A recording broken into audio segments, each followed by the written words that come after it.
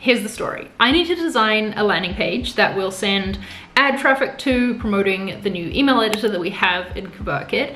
And instead of just designing this page, building it, shipping it, I really wanna use this opportunity to start building a system so that for future campaigns, we don't have to design a page from scratch and we can instead pull together a page from various different components. If all of this is sounding like something that you would have expected we had already, you're not wrong. We have had other priorities, but now is the time to create this, or at least make a start. I don't have the luxury of a whole lot of time. Um, for one, I'm the creative director at ConvertKit. I lead our brand studio team. There's a lot on this week. It's performance review time. We've got a team retreat coming up, so I've got a lot of like um, team management stuff to do but this is a project that needs to get done and I also really like to still get my hands into the pixels from time to time. Realistically, I need to have this page designed and be ready to build within the next four days. So we're on a bit of a time crunch. Uh, I'm gonna do what I can and I'm gonna bring you along on the design journey with me.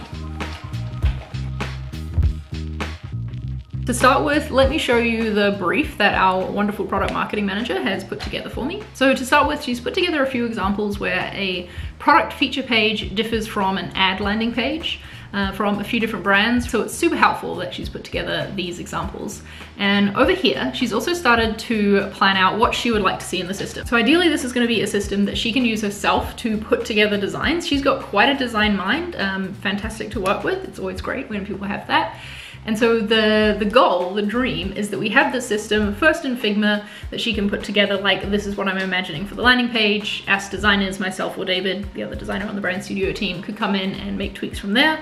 And eventually maybe we can get to a place where she can actually build out the page herself um, from our code base in the back end. That part might take a while, but we can at least focus on getting things into Figma for now. So yeah, we have all of these different hero options, testimonial options, pricing options, this sort of thing. And she's got here what she would like to see as the like MVP for this page. Um, we are both in alignment on the fact that we're not gonna get the full system built out for this one ad landing page that I have to create in four days, but we can at least make a start. And I think knowing where we wanna end up will help me make the right design decisions for this one page that I'm designing like in isolation. When she says animation here, um, luckily for my four day timeline, this is something we've already created. We worked with a fantastic motion graphics contractor on getting this animation here made that shows our email editor product in use and like a demonstration of some of the, the things you can do with it. And I think that that will be a really great thing to include um, in the in the header of our page. I don't have content for this page that will go into the structure that our product marketing manager has laid out, but I know our product well enough to like write a draft myself. So that's what I'm gonna do to get started. I don't feel like I need to let that hold me up or anything. Um, so I'm going to actually set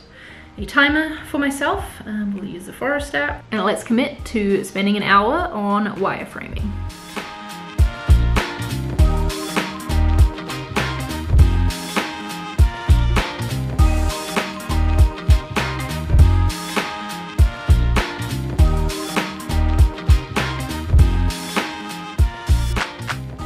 For having only spent like maybe an hour, 20 minutes on this, I think I've made great progress. I think my next step is to make a little Loom video walking through these designs and share it with the team for feedback because I don't want to move um, forward too much more without their input. But let me walk you through what I have done. So I took a few of my favorite of the hand-drawn wireframes that I made and mocked them up into honestly much higher fidelity than perhaps I needed to. But because we're working on a design system for a marketing site, which by the way, you can watch a video about, I actually had a lot of pieces I could pull from um, to end up with a fairly high fidelity looking design. So this first one has the animation up the top, that's what this is a placeholder for, and it also has like a little tab with um, the search term in it. I noticed that on one of the example ad pages, seemed like a good idea.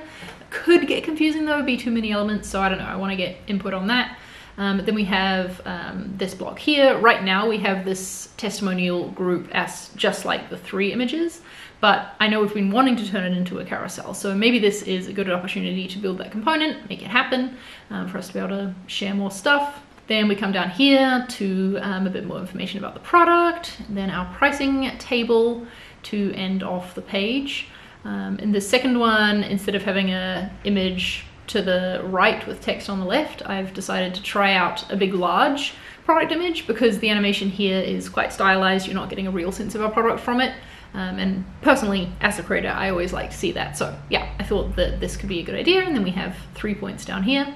Obviously, all these icons won't be the same. This next one has the centered hero image that our product marketing manager asked for. The reason I didn't do it for these ones is because I felt like the animation was kind of too small to be centered, um, that it needed left hand, left aligned text to make that work. But here I have the idea of bringing the product image up to the top and then putting the animation in further down the page.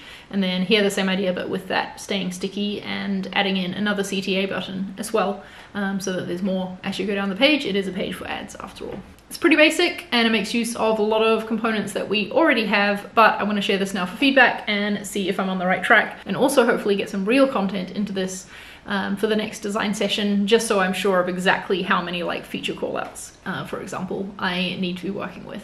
Not bad though for having only spent an hour and a half on this and I will fill you in on the team's feedback.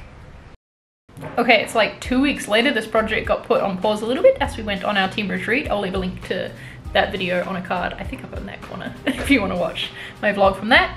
But I have copy for this page now, I have feedback on the designs that I shared, so now I'm going to set another hour timer and get into updating the design, adding some details, and adding in the correct copy.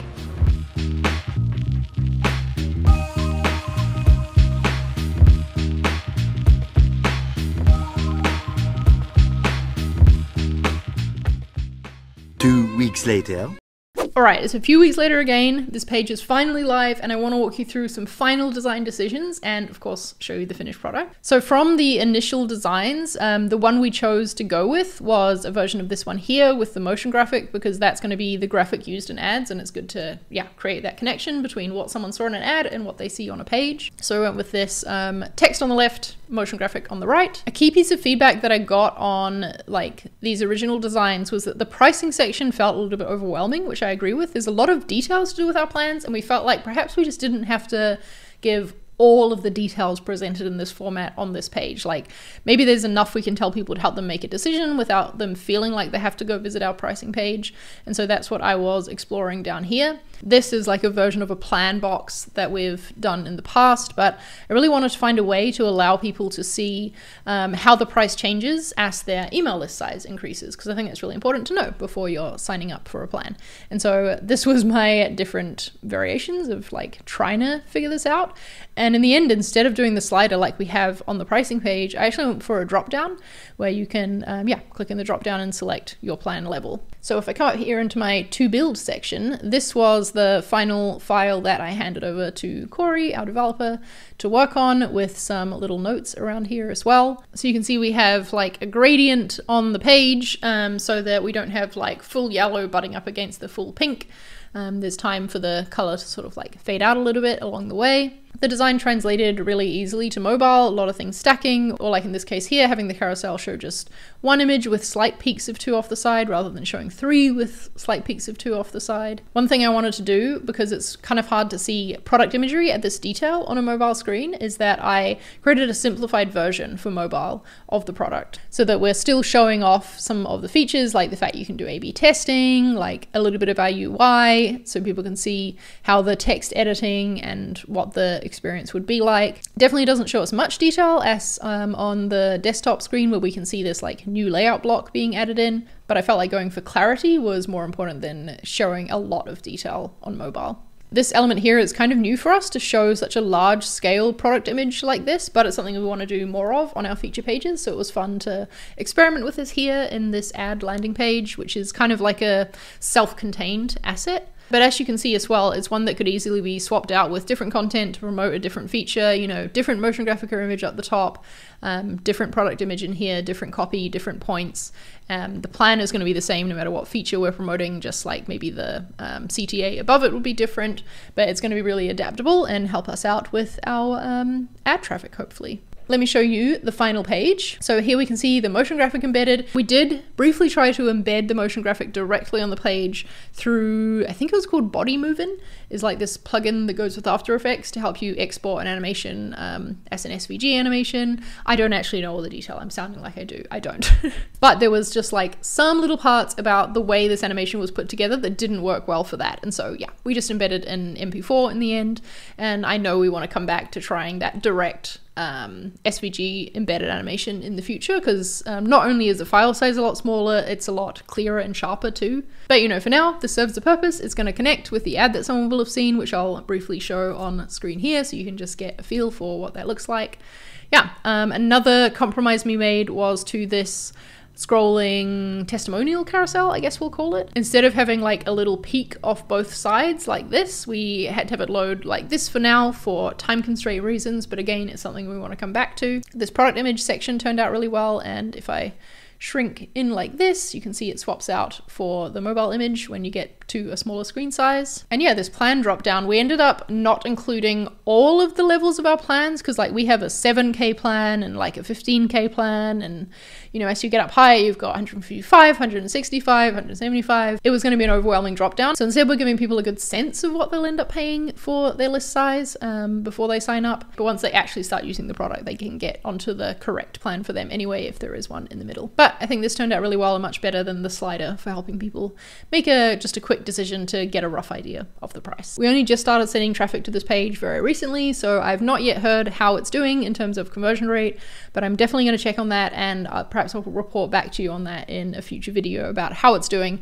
Maybe we'll make some updates, do an iteration based on what we learn from how people are using the page, what they're clicking on. Because that is one of the things that I love about being an in-house marketing designer is being able to revisit work like this and make improvements. If you enjoyed this style of show and tell, taking you along the process of designing something, showing you the finished product, then you should check out a video I made about creating our brand guidelines. This was a project that was well overdue that we quite honestly should have done years ago. But in reality, we only did it a few months ago. You can go watch that process and hear about that experience right here.